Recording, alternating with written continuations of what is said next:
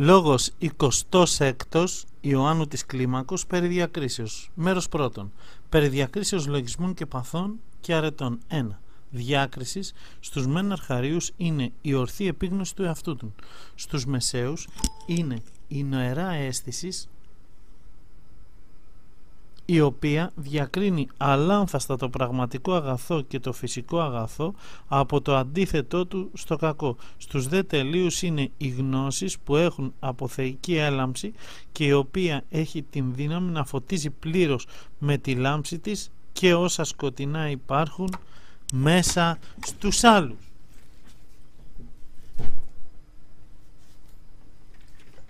2 ή ομιλώντας κατά τρόπον γενικό τούτο αναγνωρίζεται ως διάκριση και τούτο είναι η αλάνθαστη γνώση και αντίληψη του Θείου Θελήματος σε κάθε καιρό και τόπο και περίπτωση η οποία συνήθως υπάρχει στους καθαρούς κατά την καρδία και το σώμα και το στόμα. Διάκριση σημαίνει συνείδηση αμόλυτη και καθαρότητα των αισθήσεων. Εκείνος που με τη βοήθεια του Θεού ενίκησε τους τρεις αυτούς ενίκησε συγχρόνως τους άλλους πέντε. Όποιος όμως αδιαφόρησε για τους πρώτους ούτε από τους δεύτερους θα νικήσει κανέναν. Τρία. Κανείς ας μην περιπέσει εξαιτίας της αγνίας του σε απιστία όταν ακούσει ή δει υπερφυσικά σημεία μέσα στο χώρο της μοναχικής ζωής, διότι όπου εγκατασταθεί ο Θεός, που είναι υπέρ την φύση, εκεί παρατηρούνται πράγματα υπερφυσικά. 4. Κάθε πόλεμος των δαιμόνων εναντίον μας οφείλεται γενικώς στις τρεις επόμενες αιτίες ή στην αμέλεια ή στην υπερηφάνεια ή στο φθόνο των δαιμόνων. Ο πρώτος είναι ελεηνός, ο δεύτερος πανάθλιος και ο τρίτος μακάριος. 5. Μετά το Θεό ας έχουμε σε κάθε ενέργειά μας ως άγρυπνο φρουρό και ως γνώμονα ασφαλή τη συνείδησή μας έτσι αντιλαμβανόμενοι από που φυσά ο άνεμος θα ανοίγουμε προς τα εκεί τα αιστεία του πλοίου μας 6. Σε όλες τις κατα... καταθέων προσπάθειές μας τρεις λάκους μας κάπτουν οι πούλος οι δαίμονες καταρχήν αγωνίζονται να μην κατορθωθεί το αγαθό έπειτα αφού νικηθούν στο πρώτο σημείο αγωνίζονται ώστε το αγαθό που κατορθώθηκε να μην είναι καθόλου θεάρεστο. Όταν δε και σε αυτόν το στόχο αποτύχουν οι κλέπτες, τότε πλησιάζουν αθόρυβα την ψυχή μας και μας μακαρίζουν ότι σε όλα απολυτευόμεθα όπως θέλει ο Θεός.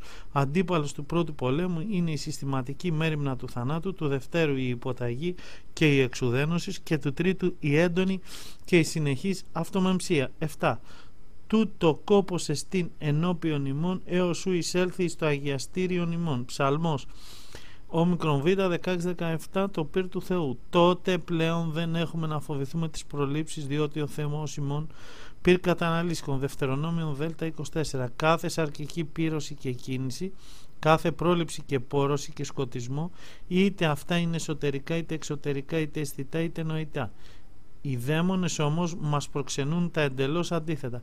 Όταν κυριαρχήσουν στην ψυχή μας, μας σκοτήσουν το νου, δεν υπάρχει πλέον σε εμάς τους αθλίους ούτε νύψη, ούτε διάκριση, ούτε αυτογνωσία, ούτε ντροπή, αλλά αναλγησία και αναισθησία και αδιακρισία και αυλεψία. Τα γνωρίζουν αυτά πάρα πολύ καλά όσοι ανένυψαν από την πορνεία και όσοι συνεστάλησαν από την παρησία και όσοι συνήλθαν από την ανισχυντία. Όλοι αυτοί μετά την ανάνυψη και μετά τη διάλειψη της, της πυρώσεως ή καλύτερα της πυρώσεως τυφλώσεως του νου όσα προηγουμένως έλεγαν και έπραταν τυφλωμένοι μόλις τα σκεπτόμενται εντρέπονται θα ελέγαμε κατά τον ίδιο τον εαυτό τους ακόμη. 9. Αν δεν σουρουπώσει και δεν σκοτεινιάσει πρώτα ημέρα, δηλαδή η φωτεινή ψυχή ου μη η κλέπτε κλέψωση και θύσωση και απολύωση. Ιωάννου Γιώτα 10. Κλοπή σημαίνει απώλεια της περιουσίας. Κλοπή σημαίνει το να εργάζεστε σαν καλό εκείνο που δεν είναι καλό. Κλοπή σημαίνει ασυναίσθητη εχμαλωσία της ψυχής. Θυσία της ψυχής σημαίνει το να θανατώνει ο λογικός νους από πτώση να θανατώνεται ο λογικός νους από πτώση σε παράνομες πράξεις και απώλεια σημαίνει απελπισία μετά τη διάπραξη της παρανομίας. 10. Κανείς σας μην προβάλλει αδυναμία στην εκτέλεση των εντολών του Ευαγγελίου διότι υπήρξαν ψυχές που έπραξαν και παραπάνω από αυτές.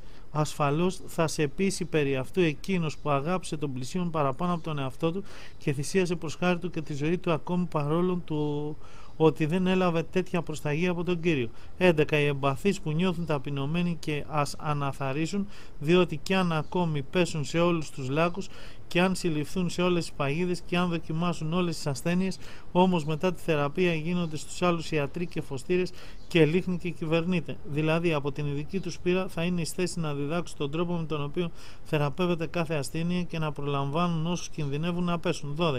Όσοι τουρανούνται από παλές προλήψεις και μπορούν έστω με τον λόγο μόνο να διδάσκουν, ας διδάσκουν, αλλά ας μην αναλάβουν όμως και ευθύνη ψυχών ή ίσως διδάσκοντας να εντραπούν από τα ίδια τους τα λόγια και αρχίσουν και αυτοί να διορθώνονται. Θα συμβεί τότε σε αυτούς ότι είδα σε μερικούς που έπεσαν στο βόρβορο καθώς ήταν καταλασπωμένοι διηγούντος τους διαβάτες πώς έπεσαν και συνιστούσαν σε αυτούς να μην ακολουθήσουν τον ίδιο δρόμο για να σωθούν. Επειδή δε με τον τρόπο αυτό έσωζαν τους άλλους, γι' αυτό και ο παντοδύναμος Θεός τους απείλαξε από την λάσπη.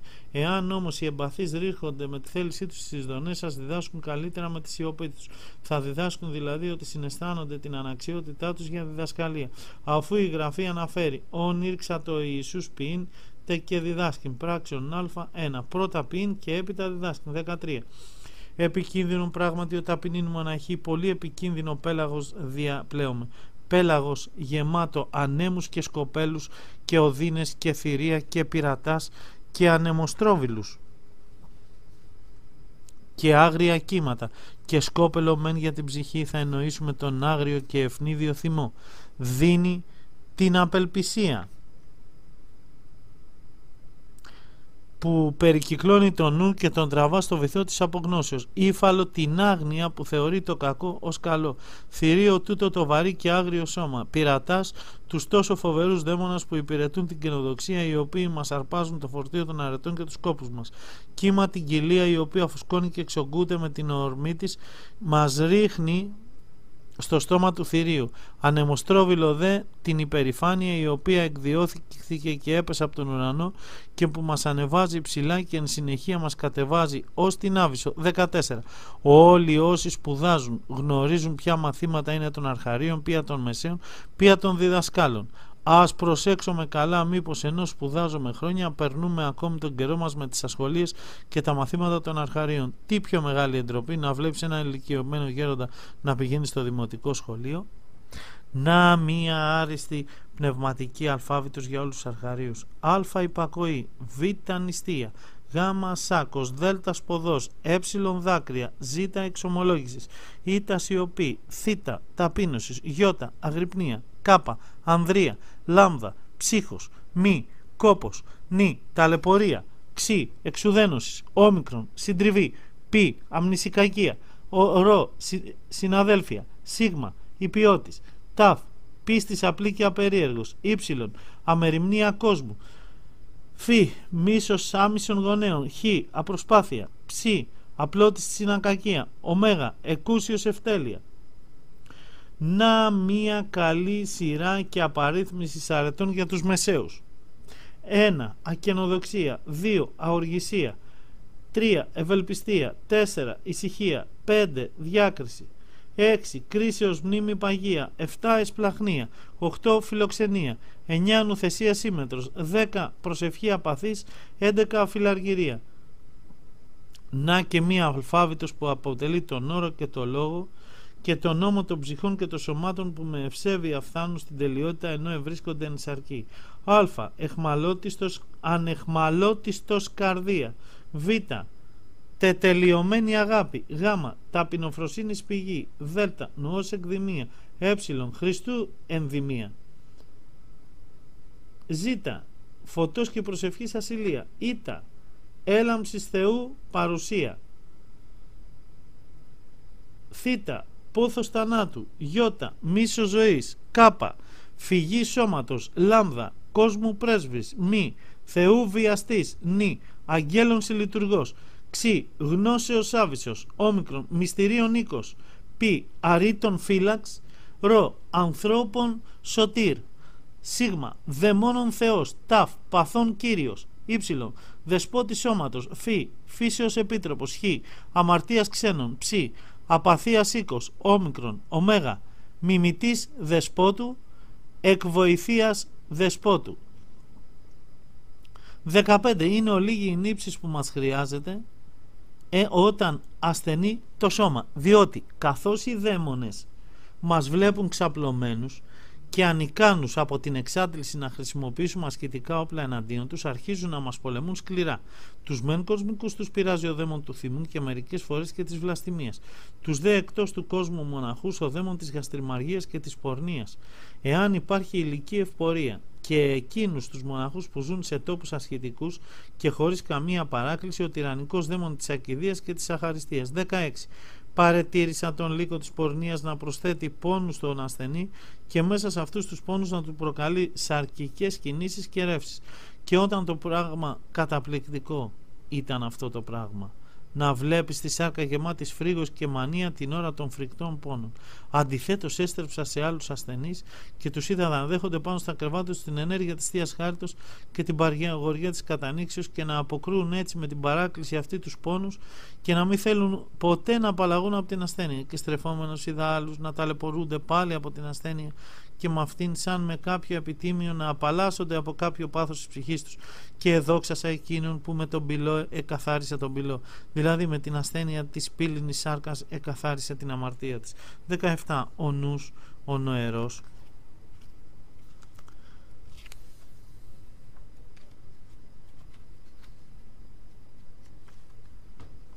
Οπωσδήποτε διαθέτει και νοεράν αίσθηση αυτή την αίσθηση από εκεί που εκεί υπάρχει μέσα μας και δεν υπάρχει ας την αναζητούμε συνεχώς διότι όταν φανερωθεί εκείνη οι εξωτερικές αισθήσεις θα πάψουν μόνες τους να ενεργούν στα ειδικά τους. Αυτό ακριβώς έχοντας υπόψη του ένας σοφός είπε και θεία ανέστηση ευρύσεις.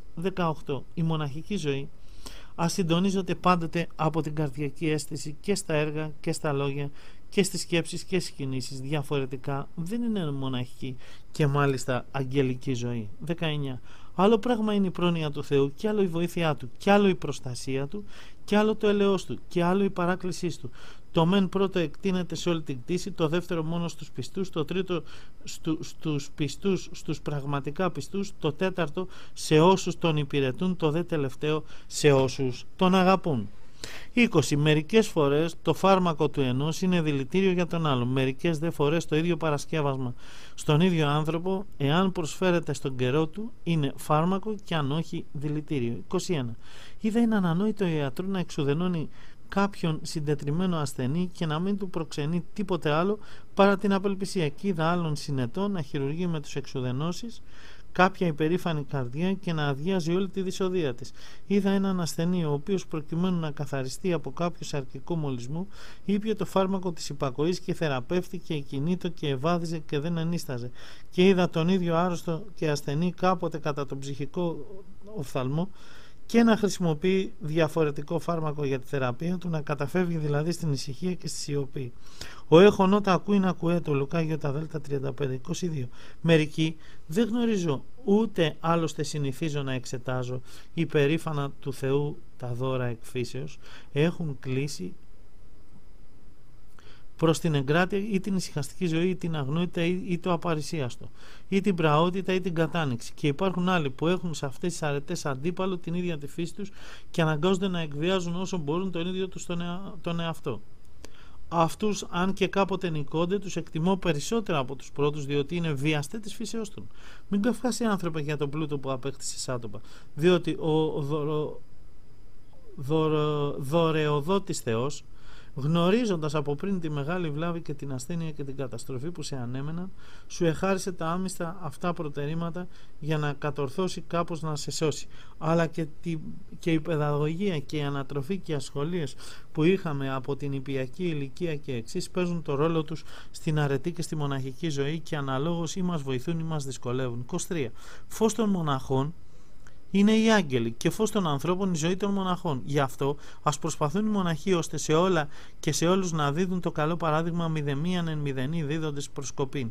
Β Κορινθίου σίγμα 3 είτε με τα έργα τους είτε με τα λόγια τους διότι ή το φως σκότος γέννηται το σκότος. Δηλαδή όσοι ζουν στον κόσμο πόσον άρα σκοτιστήσονται; Μάρκους Σίγμα 23, 24 αν ίσως και επίθεστε σε εμένα, όσοι θέλετε σας συνιστώ ως καλό να μην κάνουμε πολυπίκυλο τον εαυτό μας και να μην τεμαχίζουμε την αθλία ψυχή μας ώστε να πολεμάμε χιλιάδες, χίλιες, χιλιάδες, μύριες, μυριάδες εχθρούς διότι δεν θα κατορθώσουμε ποτέ να γνωρίσουμε ή να ανακαλύψουμε όλες τις πανουργίες τους. Με τη βοήθεια της Αγίας Τριάδος δια,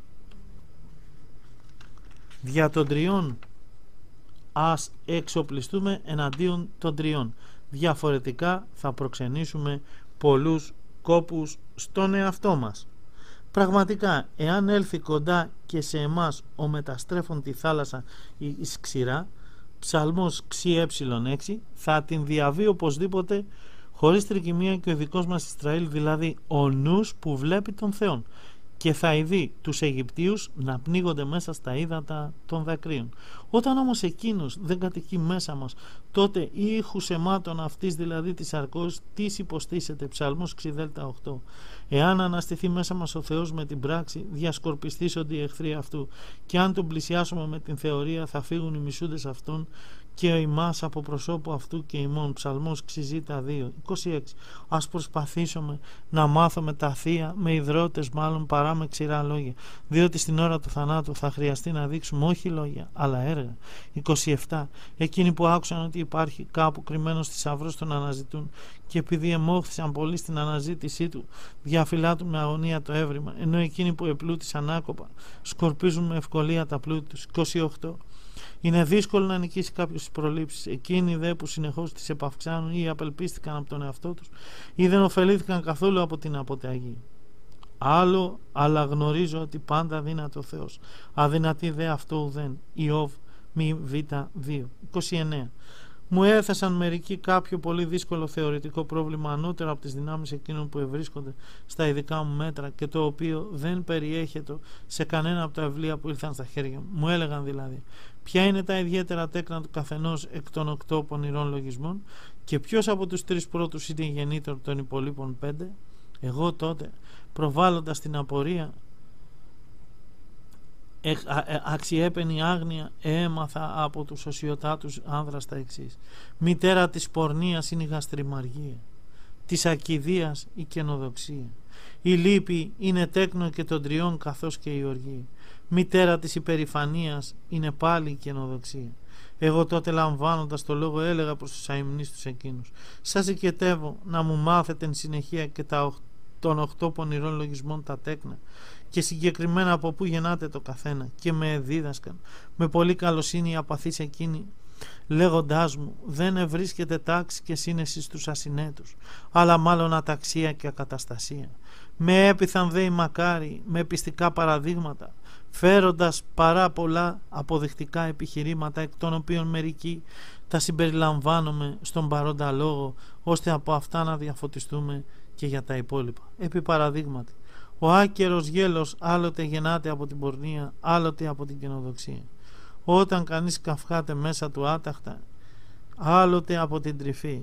Ο πολύς ύπνος άλλοτε γεννάται από την τρυφή, άλλοτε από την νηστεία. Όταν οι νηστεύοντες υπερηφανεύονται, άλλοτε από την ακιδεία και άλλοτε από την φυσική ανάγκη. Η πολυλογία άλλοτε γεννάται από τη γαστριμαργία και άλλοτε από την καινοδοξία. Η ακιδεία άλλοτε γεννάται από την τρυφή και άλλοτε από την αφοβία του Θεού. Η βλαστημία είναι ως επιτοπλίστων γέννημα της υπερηφανίας. Πολλές φορές όμως και της εσωτερικής κατακρίσεως ή και του ακέρου φθόνου των δαιμόνων. Η σκληροκαρδία προέρχεται ενίοτε από τον χορτασμό.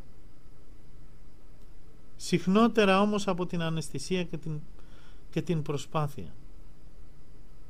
Η προσπάθεια πάλι προέρχεται από την πορνεία ή την φιλαργυρία ή την καινοδοξία και από άλλα πολλά. Η πονηρία πάλι από την ίηση και την οργή. Η υποκρισία από την αυταρέσκεια και την ιδιορυθμή. Τα δε αντίθετά τους από τους αντιθέτους γονείς. Και για να μην πολύ λέγω διότι δεν θα μου επαρκέσει ο χρόνος εάν θελήσω να εξετάσω το καθένα χωριστά όλων αυτών των παθών. Κατά κύριον λόγων είναι φωνεύτρια η ταπείνωσης. Όσοι την απέκτησαν τα ενίκησαν όλα. Γεννήτρια όλων των κακών είναι η ειδονή και η πονηρία. Όποιος τις έχει μέσα του δεν πρόκειται να ειδεί τον Κύριο. Καθόλου δεν θα μας ωφελήσει η αποχή από την πρώτη, εάν δεν απομακρύνουμε και την Δευτέρα. 31. Ας παίρνουμε παράδειγμα φόβου Θεού από τον φόβο προς τους άρχοντας και τα θηρία. Και για την αγάπη προς το Θεό ας γίνει υπόδειγμα ως αρκικός έρωτας. Δεν μας εμποδίζει δε τίποτε να παίρνουμε υποδείγματα για τις αρετές από τα αντίθετά τους. 32. Επονήρευσε άσχημα η παρούσα γενεά και κυριεύει εξ ολοκλήρου από την ίση και την υποκρισία. Ίσως να παρουσιάζει σωματικούς σκόπους σαν εκείνους των αρχαίων πατέρων, αλλά δεν αξιώνεται να λάβει και τα χαρίσματα εκείνων. Αν και νομίζω ποτέ άλλοτε όσο σήμερα η ανθρωπίνη φύση δεν είχε ανάγκη από τα χαρίσματα. Δικαίως όμως το επάθαμε αυτό γιατί ο Θεός δεν εμφανίζεται στους κόπους, αλλά στην απλότητα και στην ταπείνωση. Αν και η δύναμη του κυρίου τελειούται στην ασθένεια και στην κακοπάθεια. Β. Κορινθίων Β. 9. Δεν περιφρονεί όμως ο κύριος τον εργάτη της ταπεινοφροσύνης. 33. Όταν ειδούμε κάποιον από τους αθλητά του Χριστού να πάσχει σωματικός, ας μην προσπαθήσουμε με πονηρή διάθεση να εξακριβώσουμε το κρίμα και την αιτία της ασθενείας του. Είναι καλύτερο να το δεχτούμε με απλή και απονήρευτη αγάπη και να τον θεραπεύσουμε σαν μέλος του σώματός μας και σαν συστρατιώτης μας που πληγώθηκε στον πόλεμο. 34. Άλλες ασθένειες έρχονται για να καθαρίσουν τα πτέσματά μας και άλλες για να ταπεινώσουν το φρόνημά μας. Ο αγαθός και ο πανάγαθος, δεσπότης και κύριος μας. Όταν πολλές φορές βλέπει μερικούς πολύ οκνηρούς στην άσκηση, τότε με την ασθένεια, ως αν με μία άκοπο άσκηση ταπεινώνει τη σάρκα τους. Κάποτε μάλιστα με αυτόν τον τρόπο καθαρίζει και την ψυχή από τους πονηρούς λογισμούς και από τα πάθη. 35.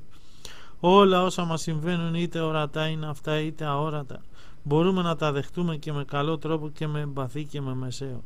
Είδα τρεις αδελφούς που έπαθαν κάποιο ατύχημα.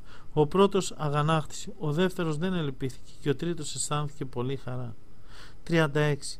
Είδα γεωργούς που έσπερναν τον ίδιο σπόρο, αλλά με διαφορετικό σκοπό ο καθένας. Ο ένας για να εξοφλήσει τα φρέη του, ο άλλος για να αποκτήσει πλούτο και ο άλλος για να προσφέρει δώρα στο δεσπότη Χριστό. Ο άλλος για να θυρεύει έπαινο από τους διαβάτες που έβλεπαν την καλλιέργειά του. Ο άλλος για να προξενήσει θλίψη στον εχθρό του κάνοντάς τον να ζηλεύει. Και ο άλλος για να μην ονειδίζεται από τους ανθρώπους ως αργός. Οι προηγούμενοι αυτοί γεωργοί ονομάζονται νηστεία, αγρυπνία, ελεημοσύνη, διακονία, κλπ. Τους δε σκοπούς κάθε ενέργειας ας προθυμοποιηθούν να τους εξακριβώσουν μόνοι τους οι αδελφοί με τη βοήθεια του Κυρίου. Μερικές φορές καθώς αντλούσαμε νερό από τις πηγές αντλήσαμε μαζί με αυτό χωρίς να το καταλάβουμε και ένα βάτραχο. Παρόμοια πολλές φορές καθώς καλλιεργούμε τις αιρετές υπηρετούμε και τις κακίες που χωρίς να φαίνονται είναι συμπιμπλεγμένες μεταξύ τους. Επί παραδείγματι με τη φιλοξενία συμπλέκεται η γαστριμαργία με την αγάπη η πορνεία, με τη διάκριση η δεινότης, με τη φρόνηση η πονηρία, με την πραότητα η υπουλότης και η νοθρότης και η οκνηρία και η αντιλογία και η διορυθμία και η ανυπακοή, με τη σιωπή η διδασκαλική υπεροψία, με τη χαρά η ίσης, με την ελπίδα η οκνηρία, με την αγάπη πάλι η κατάκρισης, με την ησυχία η ακιδεία, και η οκληρία, με την αγνότητα η πικρή συμπεριφορά, με την ταπεινοφροσύνη η παρησία. Σε όλα δε αυτά ακολουθεί σαν κοινό κολύριο ή μάλλον δηλητήριο η καινοδοξία. 38. Ας μη λυπούμεθα. Όταν επί πολλά έτη ζητούμε κάτι από τον Κύριο και δεν μας εισακούει. Ο Κύριος βέβαια θα ήθελε να γίνουν όλοι οι άνθρωποι μέσα σε μια στιγμή απαθής.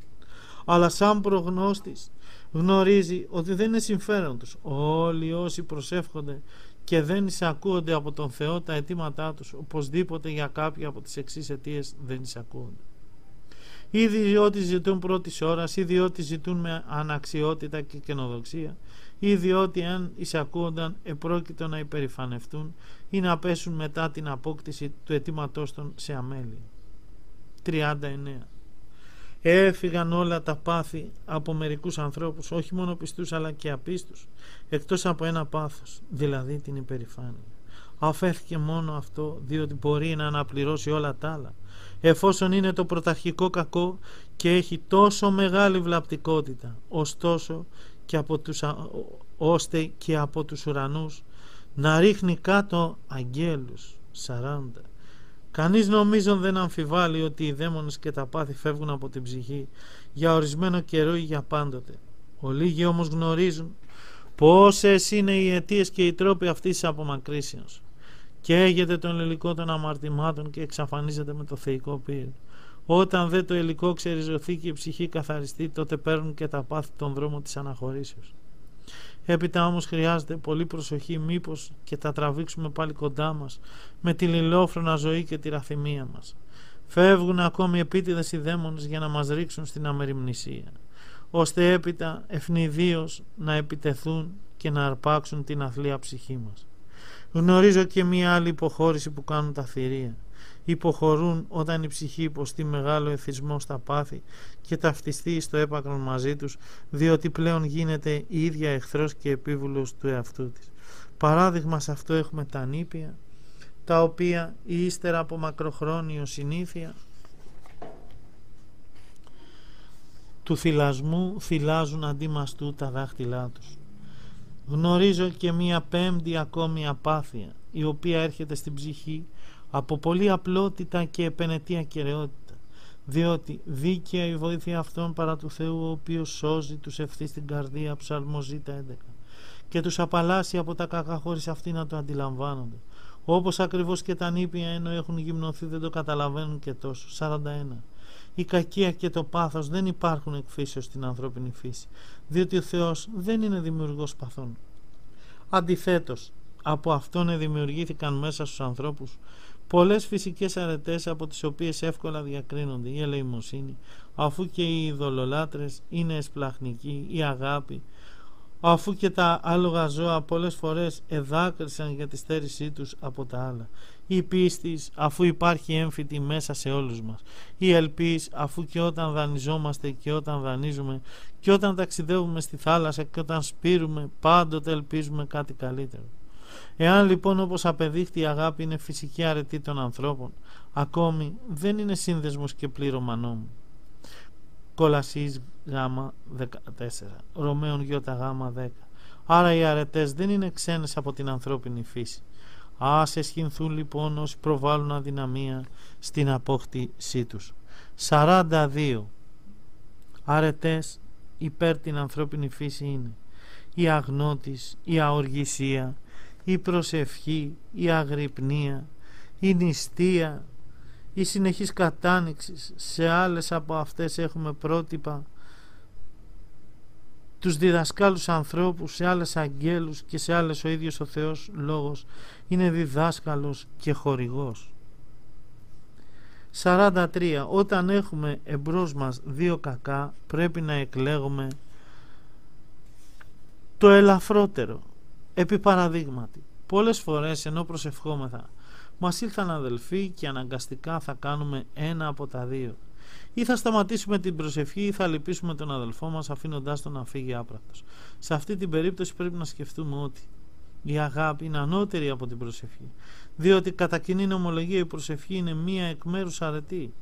Ενώ η αγάπη τις περικλεί όλες. Κάποτε άλλη περίπτωση όταν ήμουν ακόμη νέος, επήγα σε κάποια πόλη ή σε κάποια κομμόπολη, δεν ενθυμούμαι ακριβώς.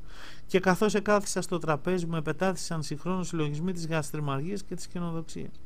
Και προτίμησα να νικηθώ από την καινοδοξία, δηλαδή να εγκρατευτώ και να επενεθώ ως ασκητικός και νηστευτής, διότι φοβήθηκα το τέκνο της κοιλιοδουλίας, δηλαδή την πορνεία. Εγώ εγνώρισα ότι στους νέους πολλές φορές ο δαίμον της γαστριμαργίας νικά τον δαίμονα της κοινοδοξίας. Αυτό είναι και πιο φυσικό. 44. Στους κοσμικούς ρίζα πάντων των κακών η φιλαργυρία.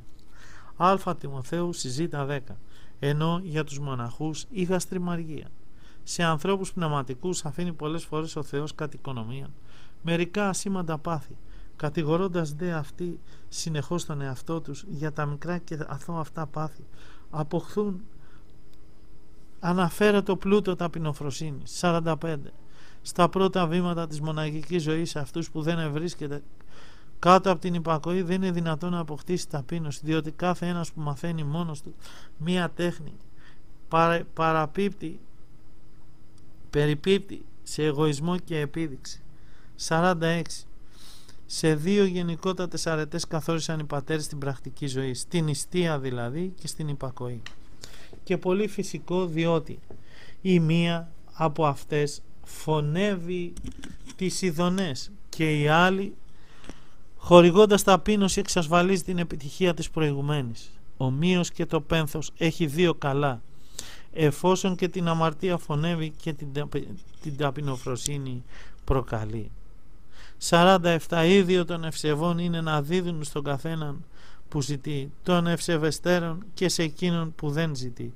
Αλλά το να μην διεκδικεί κανείς αυτό που του αφαίρεσαν και μάλιστα όταν έχει την δύναμη αυτό είναι μάλλον ίδιο μόνο των απαθών. 48.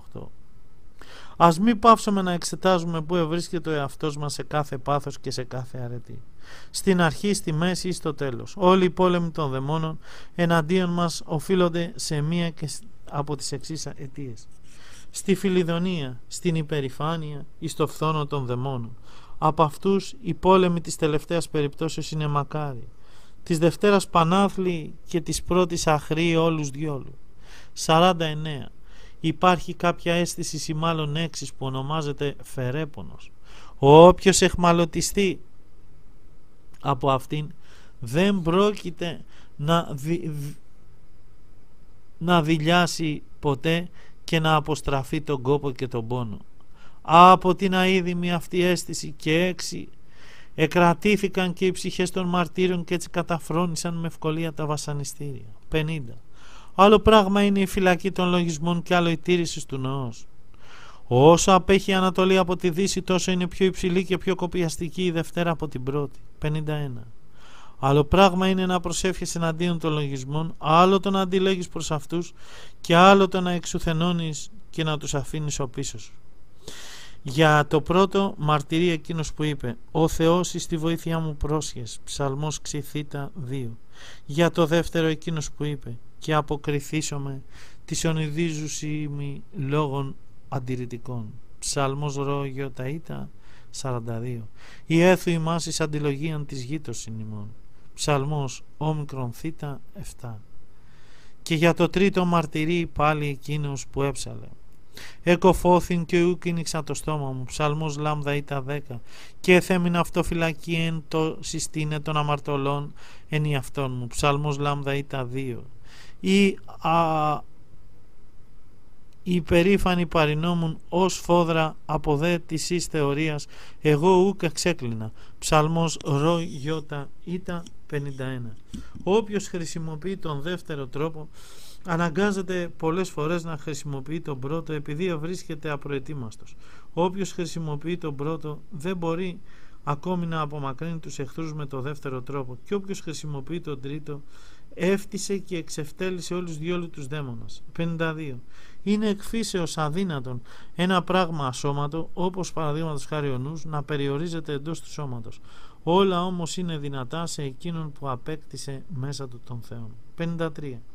Εκείνοι που έχουν καλή όσφρηση μπορούν να αντιληφθούν κάποιον που έχει επάνω του κρυμμένα αρώματα, ομοίως και μία καθαρή ψυχή, όταν πλησιάσει κάποιον που έχει την ευωδία που και αυτή απέκτησε από τον Θεό, ή την δυσοδεία που αυτή κάποτε είχε αλλά τώρα ελευθερώθηκε τελείως αμέσως τις αντιλαμβάνεται τη στιγμή που οι άλλοι γύρω του δεν αισθάνονται τίποτα 54 να γίνουν όλοι απαθείς δεν είναι βεβαίως δυνατόν. Να σωθούν όμως όλοι και να συμφιλειωθούν με τον Θεό δεν είναι αδύνατον 55 να αφήσεις να κυριαρχήσουν πάνω σου μία αφήσεις να κυριαρχήσουν πάνω σου οι αλόφιλοι εκείνοι οι λογισμοί που αρέσκονται να πολυεξετάζουν τα μυστικά και ανεξιστία στα σχέδια του Θεού ή τις οπτασίες που εμφανίζονται σε μερικούς ανθρώπους και οι οποίοι σου παρουσιάζουν χωρίς να το καταλάβεις τον Θεό ως προσωπολήπτη. Οι λογισμοί αυτοί και είναι και με, και με ευκολία αναγνωρίζονται ως τέκνα της Ιήσεως. 56. Συναντάτε πολλές φορές ένας δαίμον της φιλαργυρίας που υποκρίνεται την, την ταπεινοφροσύνη. Συνιστά δηλαδή να μην λελεούμε, να μην πέσουμε δίθεν στην ανθρωπαρέσχεια και στην καινοδοξία. Και συναντάται αντιθέτως ένας δαίμονας της καινοδοξίας καθώς και της φιλιδονίας που μας προτρέπει στην ελεημοσύνη. Αν λοιπόν καθαριστούμε και από τα δύο αυτά πάθη, ας μην πάψουμε να ελεούμε σε κάθε περίπτωση και περίσταση. 57. Είπαν μερικοί ότι οι δαίμονες έρχονται σε αντίθεση μεταξύ τους. Εγώ όμως εγνώρισα καλά ότι όλοι επιζητούν την καταστροφή μας. 58. Πριν από κάθε πνευματική εργασία είτε εξωτερική είτε εσωτερική προηγείται η δική μας πρόθεση και ο εξωτερικός πόθος μας καθώς και η βοήθεια του Θεού. Και αν εμείς δεν καταλάβουμε δεν καταβάλουμε τα δύο πρώτα, το τελευταίο, η βοήθεια δηλαδή του Θεού, δεν πρόκειται να επακολουθήσει. 59. Όπως λέγει ο Εκκλησιαστής, καιρός παντή πράγματι το υπό των ουρανών, γάμα 1. Στο παντή πράγματι συμπεριλαμβάνεται και κάθε τι που ανήκει στην ιερά ζωή των μοναχών. Γι' αυτό, αν το νομίζετε καλό, ας το λάβουμε αυτό σοβαρά υπόψη μας και ας επιζητούμε σε κάθε καιρό τα αρμόδια. Διότι οπωσδήποτε σε όλους τους αγωνιζομένους υπάρχει καιρός της απαθίας και όταν είναι πνευματικός νήπιο ο καιρός της εμπαθίας, καιρός των δακρύων και καιρός της κληροκαρδίας, καιρός της υποκουταγής και καιρός της προσταγής, καιρός νηστείας και καιρός φαγητού, καιρός πολέμου κατά του εχθρού που λέγεται σώμα και καιρός που ατονεί και θανατώνεται η σάρκα και η πύρωσης, καιρός ψυχικής κακοκαιρίας και καιρός ψυχικής γαλήνης, καιρός καρδιακής λύπης και καιρός χαράς πνευματικής, καιρός διδασκαλίας και καιρός ακροάσεως, καιρός αρκικών μολυσμών, ίσως από την ίηση και καιρός καθαρού λόγω, λόγω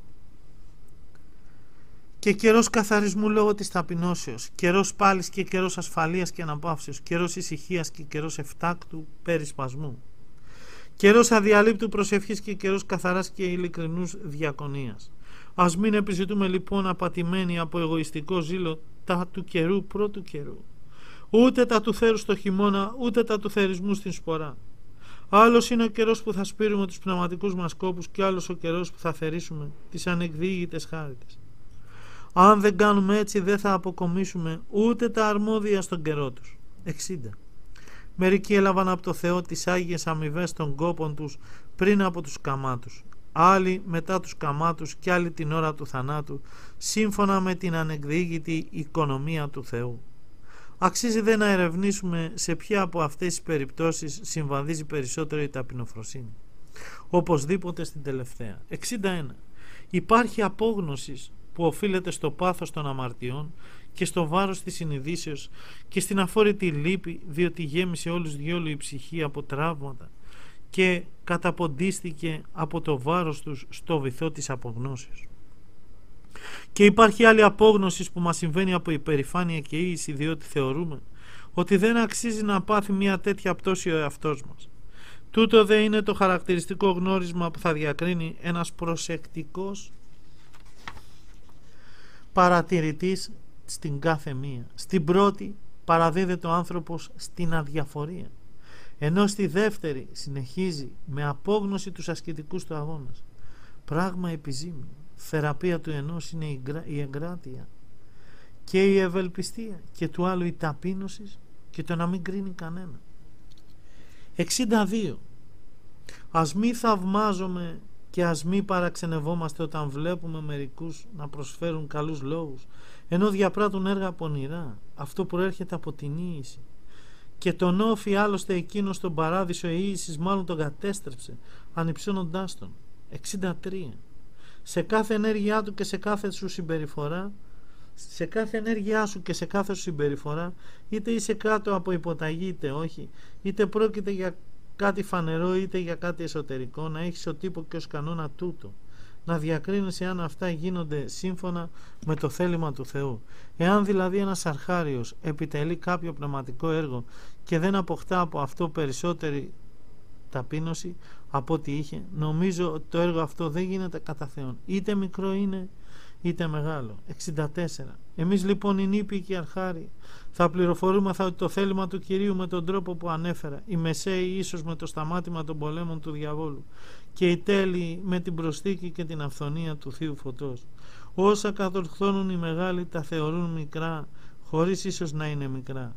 Όσα όμως οι μικροί τα θεωρούν μεγάλα, δεν είναι οπωσδήποτε μεγάλα ούτε τέλεια. 65. Η ατμόσφαιρα που καθάρισε από τα σύννεφα μας παρουσίασε λαμπρό τον ήλιο και η ψυχή που απολάγει από τις προλήψεις και αξιώθηκε τις αφέσεως των αμαρτιών οπωσδήποτε αντίκρισε το Θείο Φως. 66. Άλλο πράγμα είναι η αμαρτία και άλλο η αργία και άλλο η αμέλεια και άλλο το πάθος και άλλο οι πτώσεις. Όποιος μπορεί με τη βοήθεια του Κυρίου να τα ερευνήσει, ας τα ερευνήσει προσεκτικά. 67. Μερικοί μακαρίζουν ανάμεσα στα πνευματικά χαρίσματα ό,τι φαίνεται εξωτερικά και ό,τι θαυματουργεί. Και δεν γνωρίζουν ότι υπάρχουν πολλά άλλα ανώτερα και απόκριφα τα οποία γι' αυτό και δεν χάνονται. 68. Εκείνος που απέτυχε την τέλεια, που επέτυχε την τέλεια κάθαρση αν και δεν βλέπει την ίδια την ουσία της ψυχής του πλησίον βλέπει όμως σε τι κατάσταση ευρίσκεται. Εκείνος που προοδεύει και δεν έφτασε ακόμη στην τελειότητα αντιλαμβάνεται την ψυχική κατάσταση του πλησίον από τις σωματικές εκδηλώσεις. 69 ο λίγη φωτιά εξαφάνισε πολλές φορές ολόκληρο δάσος όμως μια μικρή τρύπα σε ένα δοχείο μας κατέστρεψε όλων των κόπων. 70 συμβαίνει μερικές φορές ώστε η ανάπαυση του εχθρού μας δηλαδή του σώματός μας να διεγείρει τους λογισμούς χωρίς να επιφέρει σαρκική πύρωση. Και άλλες φορές συμβαίνει ώστε η καταπίεση και η θλίψη του σώματος να προκαλεί ακόμη και σαρκικές κινήσεις. Και τούτο για να μην στηριζόμεθα σε αυτούς μας αλλά σε εκείνον το Θεό δηλαδή που μπορεί και θανατώνει τη ζωντανή δηλαδή τη σάρκα με τρόπο που εμείς δεν γνωρίζουμε. 71 όταν ειδούμε κάποιους αδελφούς να μας δείχνουν εν κυρίω πολύ αγάπη προς αυτούς περισσότερο ας φυλάξουμε το απαρισίαστον διότι τίποτα δεν διαλύει τόσο την αγάπη όσο η παρησία. Επιπλέον δε δημιουργεί και μίσος 72 ο οφθαλμός της ψυχής είναι νοερός και περικαλής και αν εξαιρέσουμε τους αγγέλους υπερβαίνει την ωραιότητα στο το κάθε τι. Είναι δε και πολύ διεισδυτικός. Γι' αυτό πολλές φορές μερικοί εμπαθείς κατόρθωσαν να διακρίνουν σε άλλες ψυχές που τις αγαπούσαν υπερβολικά τις μυστικές σκέψεις τους. Και μάλιστα όταν δεν ήταν βυθισμένοι στα ακάθαρτα πάθη της αρκός. 73 σε εκείνο που είναι άειλο τίποτα δεν ανθίσταται τόσο όσο εκείνο που είναι υλικό. Εάν αυτό συμβαίνει ο αναγνώστης ας εξάγει, ας εξάγει μόνος του τα συμπεράσματα. 74 οι παρατηρήσεις και οι κρίσεις των κοσμικών είναι συνήθως αντίθετες προς την πρόνοια του Θεού. Οι δε παρατηρήσεις και οι κρίσεις διαφόρων μοναχών είναι συνήθως αντίθετες προς την οερά γνώση που χορηγεί ο Θεός. Οι πνευματικά αδύνατοι ας γνωρίζουν ότι τους επισκέπτεται ο Θεός όταν παρουσιάζονται σωματικές ταλαιπωρίες και κίνδυνοι και εξωτερικοί πειρασμοί ενώ οι τέλειοι ας το γνωρίζουν από την παρουσία του Αγίου Πνεύματος και από την προστίκη των χαρισμάτων. 75. Υπάρχει κάποιος δαίμον που μόλις πέσουμε στο κρεβάτι μας πλησιάζει και μας κατατοξεύει με πονηρούς και ρηπαλούς λογισμούς. Αποσκοπεί δε να μας κάνει να κοιμηθούμε με ακάθαρτες σκέψεις και να ειδούμε εν συνεχεία και ακάθαρτα όνειρα εάν βεβαίως από οκνηρία δεν σηκωθούμε για προσευχή και δεν οπλιστούμε εναντίον του. 76. Υπάρχει ο λεγόμενος πρόδρομος των πονηρών πνευμάτων ο οποίος μας υποδέχεται μόλις ξυπνήσουμε και μολύνει την πρωτονιά μας, δηλαδή την πρώτη μας σκέψη. Να προσφέρεις τις απαρχές της ημέρας στον Κύριο, διότι η μέρα θα ανοίξει σε εκείνον που επρόλαβε την αρχή της. Κάποιος εξαίρετος αγωνιστής μου είπε έναν αξιόακουστο λόγο. Από το πρωί καταλαβαίνω πώς θα περάσω την ημέρα μου. 77 είναι πολύ οι δρόμοι της ευσέβειας και της απώλειας. Δια τούτο πολλές φορές, ενώ αντιτάσσεται κάποιος σε έναν για κάτι καλό συμβαίνει να συμφωνεί απόλυτα με τον άλλον, διότι τον άλλον τον θεωρεί ικανόν. Έτσι και των δύο ενεργειών του ο σκοπός είναι ευάριστος των Θεών. 78. Όταν μας συμβαίνουν θλίψεις και πειρασμοί, οι δαίμονες μας παρακινούν να υπούμε ή να πράξουμε κάτι αμαρτωλό. Και αν δεν μπορέσουν, τότε πλησιάζουν αθόρυβα και μας προτρέπουν να προσφέρουμε στο Θεό ευχαριστία υπερήφανη. 79. Όσοι εφρόνησαν τα άνω κατά το χωρισμό της ψυχής από το σώμα προς τα άνω ανέρχονται μερικώς δηλαδή με την ψυχή μόνο και όσοι εφρόνησαν τα κάτω προς τα κάτω ομοίως. Σε αυτά δε που χωρίζονται δεν υπάρχει τίποτα στο μέσον. 80. Ένα από τα κτίσματα δηλαδή η ψυχή έλαβε το είναι της όχι στον εαυτό της αλλά μέσα στο άλλο, σε άλλο κτίσμα δηλαδή στο σώμα. Και είναι αξιοθαύμαστο πώς μπορεί να υπάρχει μετά το θάνατο χωρίς εκείνο μέσα στο οποίο έλαβε το είναι της. 81. Τις ευσεβείς θυγατέρες τις γεννούν οι μητέρες και τις μητέρες ο Κύριος. Δεν είναι δε άστοχο να χρησιμοποιηθεί αυτός ο κανόν και στα αντίθετα δηλαδή στις κακίες. Συμπλήρωση, σημείωση δική μας ότι τις κακίες αρχηγός και πατέρας και μητέρα είναι ο, ο παγκάκιστος εωσφόρος, ο ανθρωποκτόνος διάβολος. 82. Δηλώσεις πόλεμων μη αξιέτο, δευτερονόμιον κάμπα 8. Ορίζει ο Μωυσής ή καλύτερα ο Θεός, διότι υπάρχει κίνδυνος να υποστεί αυτός. Την εσχάτη πλάνη της ψυχής, η οποία φυσικά είναι βαρύτερη από την πρώτη, την πτώση δηλαδή του σώματος. Φως για όλα τα σωματικά μέλη είναι η αισθητή οφθαλμή και νοητό και νοερό φως για τις θεϊκές αρετές είναι